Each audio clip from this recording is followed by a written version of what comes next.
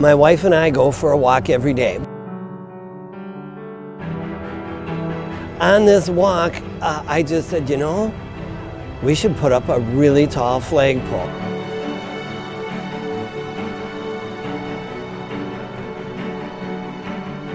It's just something that uh, everyone would rally around.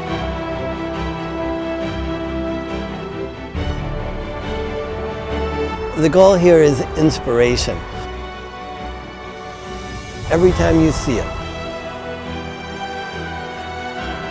it would mean something, a symbol of freedom, but also a symbol of hope. This is a tribute to America. We're gonna get a rigging hung up on that end. We're gonna pull this truck in, pick it up, swing it over, stand it up, and send it.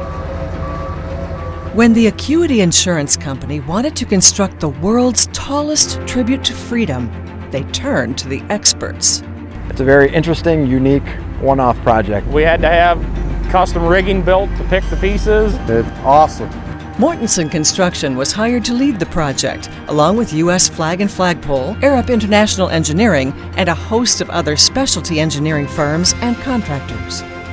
I never lost any sleep over this process and this project. Just an incredible number of really dedicated people behind this. Together, they are building North America's tallest flagpole. 353,000 pounds of steel, rising 400 feet in the air, supporting a massive 7,200 square foot, four story tall American flag. Acuity's had several flagpoles over the years. The first one went up shortly after 9-11. We really felt the need to put up a monumental pole that would really make a statement showing our gratitude for the great country in which we live and work.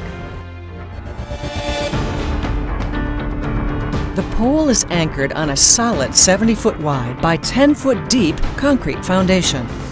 Foundation holds about 55 tons of rebar, which if you stretch that end to end would almost be about six miles long. There's uh, 148 anchor bolts on the bottom. They're eight foot long, going into 700 yards of concrete. They're made to withstand 200 mile an hour wind for hours. We're very fortunate to have a renewables group that can come in here and, and bring their expertise. Tower section is very similar to a wind turbine section, so their expertise in erecting over 5,000 of these types of pole structures has really been a great value in putting this pole up.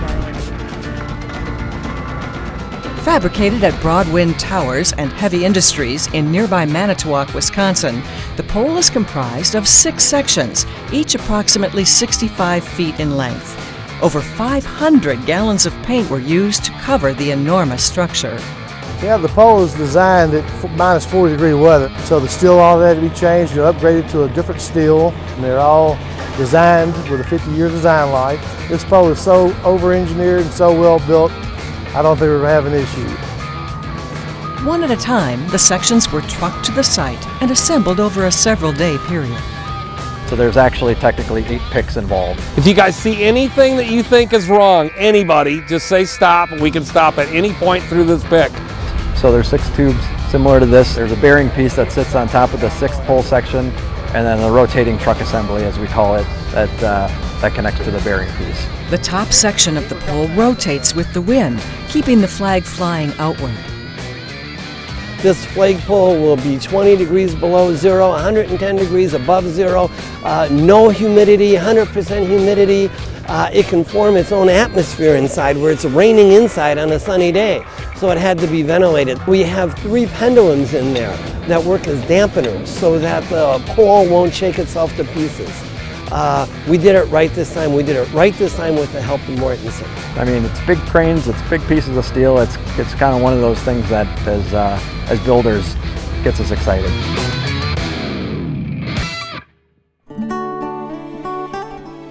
The world's tallest tribute to freedom was dedicated on June 16, 2014. Oh, say, can you see by the dawn's Today is a lot about pride and thankfulness. I'm very proud of the team and what we have all accomplished. I'm very proud of Acuity for being willing to take, take the stand and build something of this nature to share with our community. To all those who've served our country, let this be a lasting monument to the thanks and celebration for the freedom. And thank you for those who continue to serve here today. To honor every Sheboygan County veteran who died in service to their country, from the Civil War to the present, a brick has been inscribed with their name. The monument at the base, it's all about the veterans and the freedoms that we have. What we built here was a symbol of freedom, but also a symbol of hope, a symbol of inspiration. We built something and we couldn't have hoped for a better response from the general public. I'm from Sheboygan and that's what's really special to me is being able to see that right here in my hometown. There's nothing like the sight of seeing that American flag flying in the wind. Being a military guy, it means a lot to me. I keep saying she's a battle axe. She's here for the long haul and I think that epitomizes what we're all about here in America.